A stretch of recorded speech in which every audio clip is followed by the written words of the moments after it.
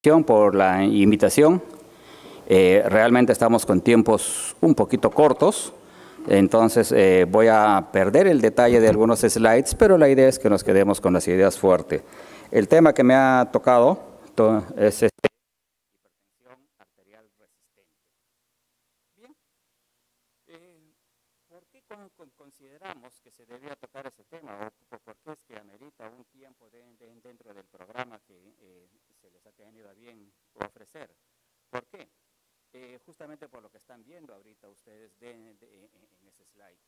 Si ustedes se percatan, una hipertensión resistente que persiste en el tiempo tiene eh, una incidencia de eventos cardiovasculares que está cercano al 18%. Eh, Permítanme,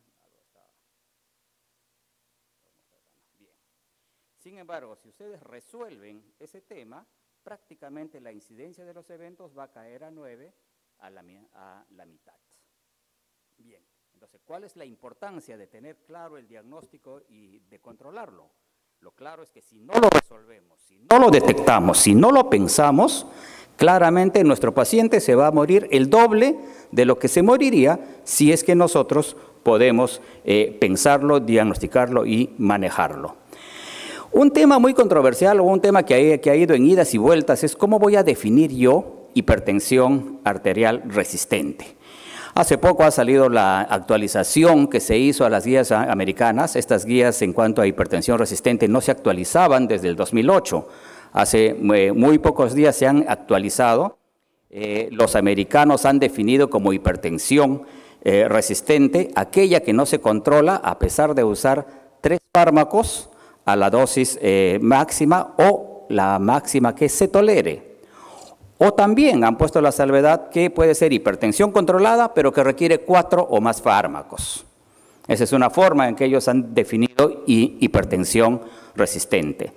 Los europeos en el 2013 definían la hipertensión resistente tal como la pueden ver ustedes en el slide. Es no tener un control de la, de la presión definida en ese campo eh, como 14.9, usando tres medicamentos a las dosis adecuadas. Y lo que sí pedían definir, como vamos a ver en un slide pronto, que se precise si realmente era una real hipertensión resistente o era una pseudo o era una aparente. Esta definición ha cambiado. Fíjense ustedes que la definición que usábamos en el 2013 con los europeos se mencionaba claramente cuál era el número que hacía la diferencia para poder establecer el diagnóstico. Sin embargo, en la actualización que han hecho en el 2018, ya no ponen el número de fármacos con los cuales calificaría para el diagnóstico. ¿Qué es lo que ponen ellos? Ponen la estrategia recomendada. Vayamos un poco más luego a pensar qué significa esto. Y obviamente también inciden mucho en que se debe confirmar o ver eh, que no haya un diagnóstico eh, falso, un pseudo diagnóstico de hipertensión resistente. Bien, entonces, Quiero que ahora nos abstraigamos del número de fármacos, nos abstraigamos de las cifras y que pensemos claramente cuál es la idea cuando yo quiero definir una hipertensión resistente al tratamiento.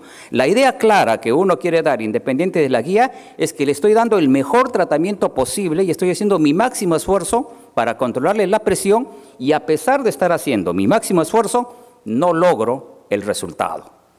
Es importante que pensemos esto cuando estamos hablando de hipertensión resistente, porque no podemos mencionar ese diagnóstico si no cumplimos con la premisa de haber hecho el máximo esfuerzo. ¿Qué es lo que pasa? Damos subdosis de medicina, subdosificamos al paciente, el paciente nunca va a controlar y erróneamente estamos calificando eso como una hipertensión resistente. Ese es un mal diagnóstico de hipertensión resistente. Yo tengo que asegurarme que le he dado lo mejor, a la mejor dosis, en los tiempos adecuados, solo si estoy seguro de haber hecho lo mejor, puedo pensar en que esto es una hipertensión resistente. Pero si no he cumplido con el espíritu de las guías, que el espíritu de las guías es decirle, oye, esfuérzate, haz, tu mejor esfuerzo para que ese paciente se controle. Si no he cumplido con eso, no podemos estar pensando en el diagnóstico de hipertensión resistente. Bien, asumamos entonces que estamos haciendo nuestro mayor esfuerzo y estamos cumpliendo con las guías y estamos usando los fármacos en la forma correcta. Asumamos que no estamos cayendo en inercia médica. Cuatro años en mi consultorio, nunca le subí la dosis, nunca le cambié el esquema. Esas cosas tampoco califican como hipertensión resistente. Olvidémonos de eso, pensemos que estamos haciendo las cosas bien, que le estamos dando el fármaco adecuado, dosis adecuada, esquema adecuado, y a pesar de eso, el paciente no controla. Entonces, ¿qué sigue? ¿Cuáles son los pasos que, tendríamos que ver ahí? Bueno, lo primero es, el hecho que mi paciente no controle la presión no necesariamente va a significar que ese paciente tiene un diagnóstico de eh, hipertensión resistente. Lo primero que, tengo que hacer es empezar a pensar cuáles son los factores adicionales que pudieran estar confundiendo el, el diagnóstico. Es decir, tengo que excluir la pseudo-resistencia. En una población que ustedes pudieran manejar de hipertensos, yo puedo tener un grupo que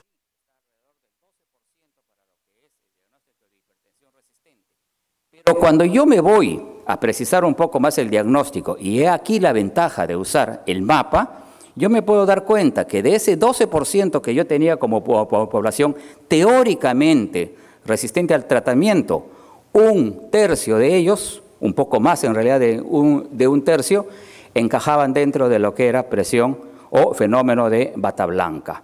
Por lo tanto, eso no es una, no califica como una hipertensión resistente. ¿A dónde voy? A lo que voy es que tener la presión alta en el consultorio que ustedes la estén tomando no necesariamente va a significar que en todo momento esté así. El hecho de tener como ayuda el mapa o eh, el AMPA, hemos escuchado una brillante eh, presentación del doctor Martín Salazar, eso nos va a permitir saber si realmente los valores son persistentes, persistentemente altos a lo largo de las 24 horas.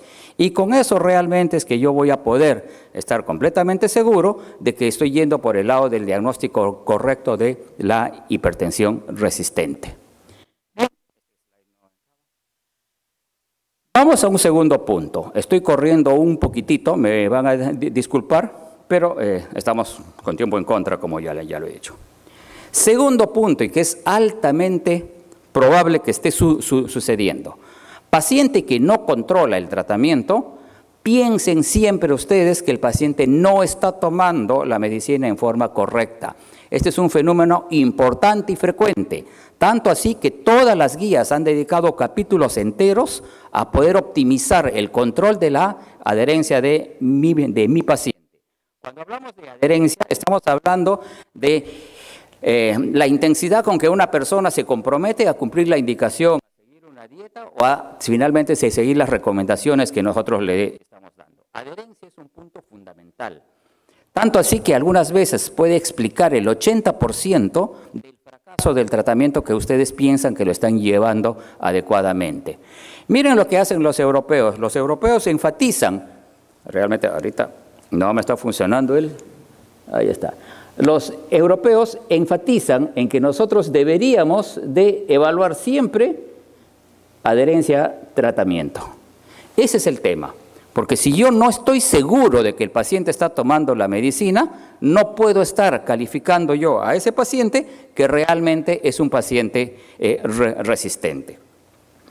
Tanto lo enfatizan que muchas veces dentro del mismo esquema, nuevamente puntualizan acá, adherencia. Debe estar dentro de las cosas que yo tengo que estar evaluando permanentemente para estar de acuerdo si ese paciente está yendo o no. ¿Y cuándo es que yo debería sospechar falta de eh, adherencia? Acá lo ponen. Fácilmente yo debo sospechar cuando la presión no se controla. ¿Ven ahí una C? La C significa acá, esto, la adherencia debería estar chequeada. Entonces, el primer pensamiento, cuando ustedes vean que su paciente no controla las presiones, piensen siempre, detecten siempre si realmente ese paciente está cumpliendo o no. Y ahí tenemos, OMS realmente ha dado muchas guías para lo que pudiera ser los parámetros eh, de lo que se consigna para la definición. Es tan importante, impacta tanto en muerte, impacta tanto, bueno, a los financieros lo que les importa es el dinero, cuesta tanto que un paciente se infarte que tengo que prevenirlo. Y la forma de prevenir es que yo invierta. ¿En qué voy a invertir? Lo que voy a invertir es en eso. Voy a invertir en los métodos que tengo para asegurarme que el paciente tome su medicina. Se han ensayado desde los métodos en los cuales tenemos la subjetividad del médico hasta hacerle métodos bioquímicos, tomas en orina. Se ha pasado por lo que sería eh, observación directa, yo me fijo que el paciente esté tomando. Se ha visto de que le hago el conteo de cuántas veces lleva la medicina, o incluso se le ha puesto marcadores para electrónicamente poder detectar si la pastilla salió o no salió de la pastilla. Impacta que yo tenga el control de que el paciente está tomando la medicina, definitivamente me asegura el beneficio del tratamiento y a la larga beneficia la salud del paciente, pero también beneficia la salud del sistema, porque disminuye los costos a lo largo por la complicación que lleva eh, este paciente. Rápidamente, no voy a entrar en el detalle, este es un ejemplo de cómo son los sistemas electrónicos que uno tiene para medir adherencia. Se puede ver que el contenedor tiene un marcador para saber cómo, si, la pastilla ha salido o no. Eso por medios inalámbricos es detectado y centralizado y con eso se pueden hacer los análisis para saber si el paciente cumple o no cumple. Ejemplos de los dispositivos los pueden ver ahí, son cajitas especiales, nada del el otro mundo. Sin embargo, el dosaje de los fármacos en orina es otra de las estrategias que se usan para yo poder estar completamente seguro que mi paciente toma. Yo no voy a poder hacer un diagnóstico de hipertensión resistente si no estoy completamente seguro que ese paciente toma. Entonces, el dosaje, como ven ustedes ahí de los fármacos, me, permite finalmente saber lo que eh, eh, está pasando. Miren ese, ese paciente, miren los fármacos que estaban indicados. Ninguno, no los está tomando. Entonces, ¿Cómo puedo estar yo haciendo diagnóstico de hipertensión resistente si en realidad nunca le hemos tratado la hipertensión? Nunca lo tomó. El tratamiento no pasó más allá de hacerle una receta. Y pueden ver ustedes que esto me va a explicar más de la mitad de los casos en que la adherencia falla, más de la mitad de los casos en los cuales yo tengo un buen motivo para no conseguir el valor meta de la presión a la cual estamos llegando.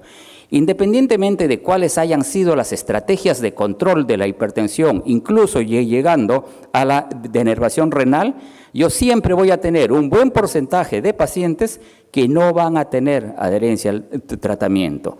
Y cuando les preguntamos, oye, pero ¿por qué no tomas? Si, sabemos que eres hipertenso, si sabemos que te vas a morir de esto, ¿por qué no lo tomas? Estas son las respuestas que nosotros vamos viendo. Miren, son cosas tan obvias que o no lo puedo pagar o creo que estoy sano, me olvidé. Son cosas que realmente nosotros tendríamos que calcular dentro de la consulta para que no sea tan frecuente. Adherencia no solo depende del factor del, del paciente en que pueda comprar y tomar o que pueda comprar y no lo quiere tomar. También depende de los esquemas. Hay muchos factores que entran en adherencia. Uno adicional que les puedo mencionar acá es que si ustedes tienen muchos fármacos en muchas pastillas, eso también va en contra de adherencia. Cuantas, cuantas menos pastillas tenga yo, más fácil va a ser que el paciente finalmente pueda tomarlos. Y realmente, ¿impacta esto? ¿Realmente yo puedo estar seguro que si le receto cinco y él toma tres, ¿algo malo pasa? Claro que puedo estar seguro. Miren, esa gráfica lo que me muestra son resultados en presión de consultorio o en presión de mapa, donde el número que se ve abajo, el número negativo, es la diferencia. ¿Cuántas medicinas yo le indiqué y cuántas realmente tomó? De la diferencia, cuanto más grande sea la brecha, mayor es el porcentaje de complicaciones que yo puedo tener. Miren, acá, mientras menos medicinas toma respecto a lo que yo le he indicado, más se va a complicar lo cual es bastante obvio. Como les decía, este es un modelo complejo que finalmente no siempre van a ser causas médicas, van a haber causas de política, van a haber causas económicas, van a haber muchos componentes. Pero si nosotros no tenemos claro en nuestro cerebro que nuestro paciente no puede no estar tomando la medicina, no estamos yendo en el camino correcto de hacer el diagnóstico de hipertensión. ¿Por qué es que yo debo pensar siempre dentro de la, no adherencia, dentro del contexto de la hipertensión resistente? Primero porque da una buena explicación para el no control. Voy a evitar usar mal las medicinas, porque como yo pienso que él está tomando y la dosis X no le funciona, le voy a dar doble de X. O voy a realizar combinaciones que no debería hacer pensando que esa, esa medicina no está funcionando. Voy a bajar los costos porque ya no tengo que perder dinero buscando una explicación para algo que era tan simple como preguntarle, ¿tomas o no tomas? Finalmente, esto basa o está de la mano con que yo tenga una adecuada comunicación con mi paciente para que él me pueda decir, oh, sí, ¿sabe qué, doctor? No estoy tomando. Pero si yo tampoco le pregunto o no le abro la puerta para que él me diga, no voy a tener oportunidad de hacer un el diagnóstico real, que es falta de adherencia. Y me voy a ir por el otro diagnóstico, me voy a ir por el diagnóstico de hipertensión resistente. En mi mente voy a pensar que le estoy dando cuatro medicinas a la dosis alta, no está tomando, y si toma, toma una. Y voy a estar calculando y pensando cosas que en la realidad no están pasando. Entonces, si queremos manejar bien el diagnóstico, pensemos siempre, ¿está tomando o no está tomando? Pero bueno, Supongamos que estamos en, la mejor de las situaciones. Vemos y sí le, está, el, le hemos dado una buena indicación, la indicación ha sido correcta y el paciente cumple. Pero a pesar de que le estamos dando la medicina correcta, el esquema correcto, y el paciente tiene un cumplimiento, no controla. ¿Qué es lo siguiente que se me viene a la mente entonces? Lo siguiente que viene a la mente es, este paciente no es un paciente usual. Entonces, paciente inusual que tengan ustedes, paciente muy joven, paciente que tenga daño en órgano blanco a temprana edad con poco tiempo de la eh, eh, enfermedad, o paciente que tenga hallazgos en el laboratorio que no van de la mano, esos son los pacientes donde ustedes inmediatamente piensen, acá hay causa secundaria. Acá hay un fenómeno que yo tengo que empezar y diagnosticar. Bien, miren, nosotros tenemos, en ese cuadro pueden ver ustedes, que dentro de los, de los casos de hipertensión resistente, pensemos un 30% de hipertensión resistente, un tercio de ellos puede ser explicado porque se trata de una hipertensión secundaria. Entonces, ¿qué debemos vigilar? Lo que ya habíamos visto. Edad, alteración de la curva de las presiones, el compromiso de órgano blanco acelerado, o eh, que incluyan resultados no usuales dentro de lo que nosotros manejamos dentro de la hipertensión. Vamos a correr en los siguientes slides. ¿Por qué vamos a correr? Porque los siguientes slides eran el recuerdo de las entidades que nosotros debemos pensar para hipertensión secundaria. Vamos a correr rápidamente eh, este slide porque este es el que ustedes tienen que recordar. Cuando ustedes estén pensando en casos, de, en casos secundarios de hipertensión, lo que tiene que ir a la mano son estos. Este que es el más frecuente. Este está ahí, enfermedad renal Cushing. Cuídense de este. Este va a estar siempre amenazando su diagnóstico. Si no lo pensamos, si no lo tenemos en la cabeza, se nos va a escapar. Pero así, paciente que no controla, haciendo todo bien, paciente que está Piensen siempre en una causa secundaria. Los mecanismos para la hipertensión secundaria obviamente comparten lo mismo que teníamos para los de la hipertensión primaria, pero realmente son mucho más este, específicos según el cuadro que ha determinado el diagnóstico. Vamos a pasar también ahora rápidamente unos slides. Acá tengo este slide en donde se ve que si el diagnóstico de hipertensión aparece a muy temprana edad, pueden ver ustedes que el 70% prácticamente va a estar explicado por la causa secundaria. Cuanto más joven es el paciente, mayor probabilidad de que su hipertensión sea secundaria. Sin embargo, pueden ver ustedes que cuando ya estamos con adultos jóvenes, eh, ya estamos dentro de lo que se espera eh, en cuanto a números. No pierdan de vista apnea sueño, no, no pierdan de vista al riñón, cuando están hablando de riñón, piensen en la enfermedad renovascular. Esta que están viendo acá, el hiperaldosteronismo primario, es una de las más frecuentes. Revisen siempre el potasio que sus pacientes tengan. Ahí van a poder ustedes aumentar la sospecha clínica que tienen para poder identificar a estos pacientes. Obviamente hay otras causas, pero hay causas genéticas raras que también en algún momento tendrían que ver. ¿A dónde voy? A lo que voy es a esto. primero asegúrense de estar haciendo las cosas bien. Si a pesar de estar haciendo las cosas bien, ese es un paciente raro. Si es raro, ¿cuál es el paso que sigue? Busquen causa secundaria. No solo las causas secundarias nos pueden explicar el fracaso de nuestro tratamiento. Ahora está de moda las interacciones que podamos tener con otros fármacos, por ejemplo, anticonceptivos. Pueden definitivamente alterar la curva de la presión. Si yo no le pregunto a mi paciente cómo está yendo con las otras medicinas que usa, me voy a perder una información importante. ¿Cómo me está yendo con el uso de antiinflamatorios? También, obviamente los antiinflamatorios me pueden alterar la curva. Y no pierdan de vista, ahora que está de moda el internet, ahora que está que la, que la prima, la amiga le cuenta que la hierbita tal, los compuestos que son así recomendados por internet y que llegan con unos nombres mágicos y que por eso prometen ser panacea para todos sus males, esos compuestos pueden estar directamente implicados en un pobre control de la presión. Entonces, cuando hablemos con el paciente, no solo le pregunten por la adherencia a la medicina, no solo le pregunten por las pastillas que toma, pregúntenle, jarabe, tónico, hierba, cualquier cosa que esté metiéndose al cuerpo puede estar interfiriendo con el control de la presión que nosotros asépticamente creemos que es medicina paciente. No es, en el medio de la medicina y del paciente se han podido meter todos estos elementos y todos esos elementos nos han podido explicar claramente por qué no controlo. Bien, llegamos entonces a la situación en que identifico que este paciente sí, este es un paciente que sí tiene una hipertensión resistente verdadera, real. He descartado adherencia, he descartado otros fármacos, he, descartado cuadros, bien, todo y llego, oye, este es un paciente que sí me va a dar líos.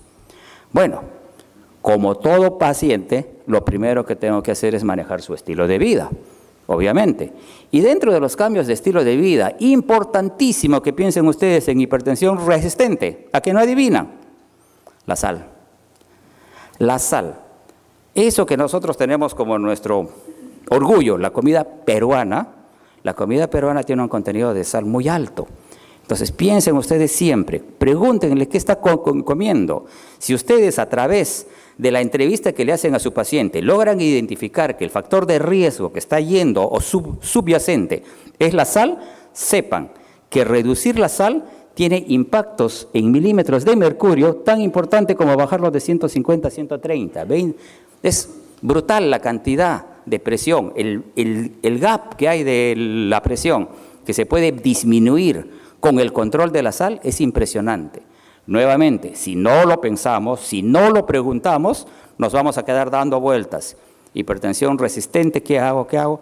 ¿Qué hago? Bajen la sal. Miren, este es con mapa. En el mapa pueden ver, pueden ver ustedes cómo bajando la ingesta de sal, miren la magnitud del cambio para el control de la presión. Eso es lo que me explica. Eso es lo que me puede dar a mí el elemento para poder saber, ¿funciona o no funciona el tratamiento? No funciona, no funciona porque le estoy metiendo un montón de cosas, incluida la sal. No pierdan de vista que es un paciente que, tiene que puede tener alteraciones metabólicas. Está la diabetes, está obesidad, está la falta de ejercicio. No acá sí me pueden acusar y sí reconozco que es un error mío, no he puesto ningún slide del eh, ejercicio, pero ejercicio, la, vida sedentaria es otro de los elementos que ustedes tienen que considerar cuando están haciendo el diagnóstico de hipertensión eh, resistente. Entonces, prácticamente hacer un diagnóstico de hipertensión resistente viene a ser un examen de qué también estamos practicando la medicina. Porque nosotros pensamos que la medicina es simplemente sentarme, escribir una receta y que el paciente se vaya. No, la medicina acaba cuando yo tengo la convicción de que mi actitud está yendo a dar un beneficio real de este paciente. Y eso implica evaluar su estilo de vida, recomendarle los cambios que tiene que hacer, asegurarme que tome la medicina, preocuparme porque si no, si la adherencia o la baja adherencia es por cuestiones económicas, tengo que buscar una alternativa que sea asequible, pero que me le permita solucionar el tema. Bien, pensemos ahora entonces, ya le modifiqué el estilo de vida, sigue mal. Nada. Sigue con la presión alta. Empecemos a pensar entonces, ¿cómo serían nuestros esquemas terapéuticos? Obviamente yo ya asumo de que dentro del esquema terapéutico que estamos pensando para un paciente con hipertensión resistente, yo ya lo tengo por lo menos en terapia triple, de los cuales debemos tratar y procurar que uno de ellos sea un diurético. Si el diurético es hidroclorotiacida, traten de cambiar a indapamida y vean si tienen mejor respuesta con indapamida y logran un mayor control. Si a pesar de hacer el cambio del diurético no logran ustedes todavía un buen control, ya salieron dos, estudios, solo tengo uno, uno de ellos. Uno es el REHOT, que fue contra clonidina, y otro es el que tienen ahí, el Pathway, eh, donde se ve que el cuarto fármaco que debería acompañar a su esquema terapéutico para lo que es el control de hipertensión resistente eh, viene a ser espironolactona. Entonces, no vamos a entrar al debate de cómo se hizo el estudio, quiero que se fijen que en realidad se compitió contra placebo, contra un beta bloqueador, contra doxazocina y contra clonidina, y en, todos las, en todas las comparaciones siempre se vio que había una mayor protección, mayor, una mayor reducción de las cifras cuando lo que se usaba era espironolactona. Y pueden ver el cuadro ahí, pueden ver el cuadro de resumen. Y podemos ver nosotros que siempre que usemos ese tipo de fármacos, lo que tenemos que estar vigilando es el nivel de potasio que mi paciente pueda tener. Me faltan tres minutos o cuatro para acabar esta charla. Básicamente la idea es, ya llegué. Hice todo lo que pude hacer farmacológicamente hablando. No he llegado al tema de lo que es la quinta droga. La quinta droga, luego de espironolactón, es un tema que está en debate ahora. Se plantean varias alternativas ahí. Saltémonos en aras del tiempo el debate de la, quinta droga. Vayamos a una estrategia de enervación renal. Me queda la denervación renal, que es, en realidad, denervación renal no es más que uno de todos los esquemas o todas las estrategias del manejo de la presión por medio de dispositivos.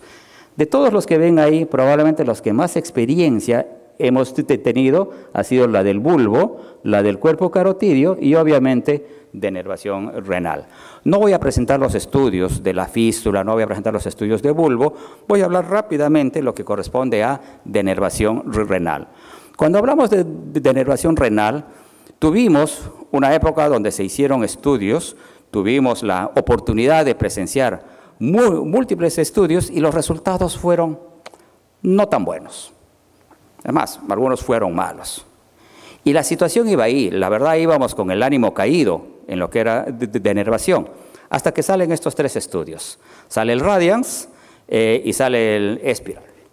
Estos estudios salen, son esos tres que tienen ahí ustedes, y esos tres estudios han hecho una reorientación de la población a la cual iban dirigidos.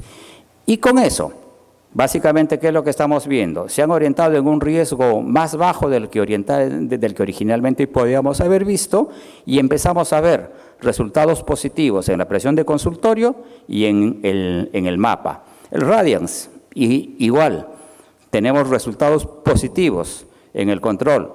Y cuando vemos nosotros eh, realmente cuánto hubo tasa de respuesta de enervación renal, llegaba al 66%, mientras que la simulación de hacerle la degeneración renal solo alcanzaba un tipo de respuesta del 33%. El espiral tuvo un brazo donde se usó medicación y un brazo donde no se usó medicación. También en el que se usó medicación demostramos un mayor control en las cifras en consultorio y en mapa. Y si lo quisiéramos ver, el perfil de la presión arterial a lo largo del tiempo, podemos ver, bueno, podemos casi, casi ver. seguridad alta. Entonces, empezamos mal. Empezamos con esos estudios, tuvimos un metaanálisis, nos fue mal realmente con denervación. Sin embargo, estos tres estudios que han salido hace muy poco han hecho que lo que habíamos puesto en las guías, que decía que el uso de dispositivos para el control de la presión no se recomienda, bueno, los europeos han tenido que sacar una toma de posición frente a estos tres estudios. Le han abierto la puerta, no lo han aceptado, no le han dicho pasa y entra. les han abierto la puerta nuevamente o le han abierto la puerta nuevamente como una estrategia que pudiera ser válida, y remarco el pudiera, a la denervación renal para el tratamiento de la hipertensión resistente verdadera. Esto es aplicable cuando dice todo y no funcionó. Ahí entra esto. Sin embargo, ellos también dicen que el cambio de la práctica realmente requiere mayor investigación. Y uno de los aspectos más importantes para saber si esto realmente constituye una solución es ver si los, si los efectos van a ser sostenibles o no. Bien, entonces, denervación renal queda como una interrogante dentro de lo que es el manejo de la hipertensión resistente. El último slide que les voy a poner es este, que ya lo han ido viendo ustedes a lo largo de toda la presentación.